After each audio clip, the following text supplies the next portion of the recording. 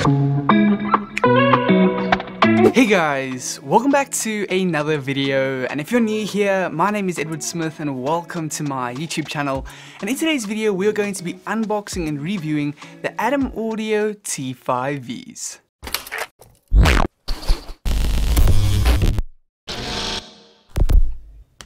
So before we jump into things, I'd first like to remind you that if you are someone that's interested in home studio gear or you want to learn how to set up your very own home studio, that this channel is for you. Don't forget to smash that subscribe button down below, click on the bell notification so you don't miss any of my future uploads. Secondly, if you end up being interested in these studio monitors, I've also left some links down in the description below. And then last but not least, make sure you stick around all the way till the end so that you don't miss the sound test comparison where I'm going to be comparing these Adam Audio T5Vs to the KRK Rock Rokit 5G4s. But without any further ado, let's jump into this video and see what these studio monitors are all about.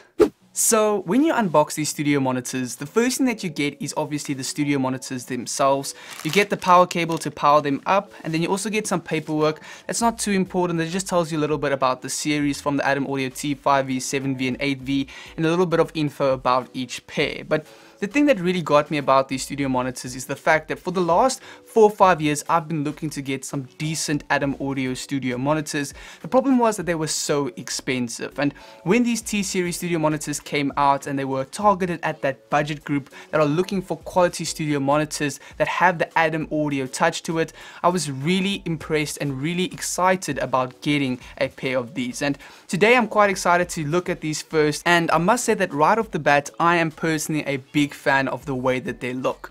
I love the look and design. I love the fact that they're all matte black and simple and straight to the point. It's not too much and it's also not too little. I love the fact that they still have the Adam Audio tweeter, which is something that's of very high quality, giving you it at a much lower price with this series. Moving on to the back panel of our studio monitors, the first thing that we have is our bass reflex port, which has a similar design than that of the Yamaha HS5s.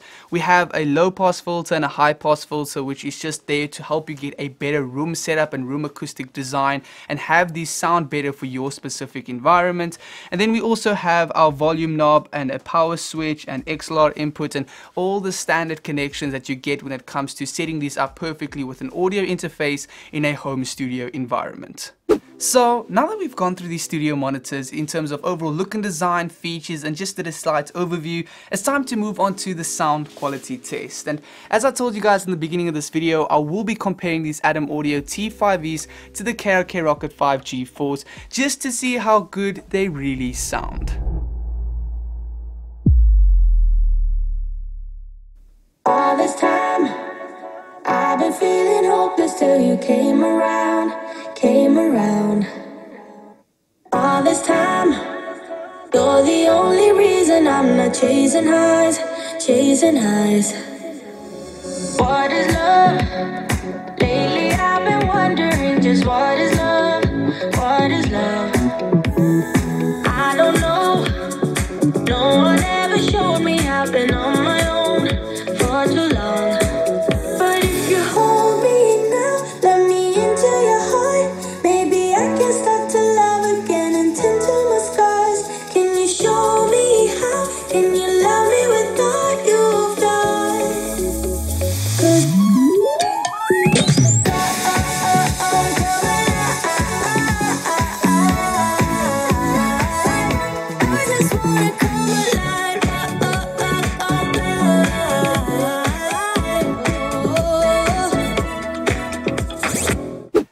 that brings this video to an end of my unboxing and review of the Adam Audio T5Vs. Just a reminder that if you're interested in these studio monitors, I have left some links down in the description below. Secondly, if you have any questions about today's video, just leave a comment down below and I'll try and get back to you as soon as I can. But other than that, thank you guys so much for watching this video. If you enjoyed it, please do give it a thumbs up and if you loved it, subscribe down below.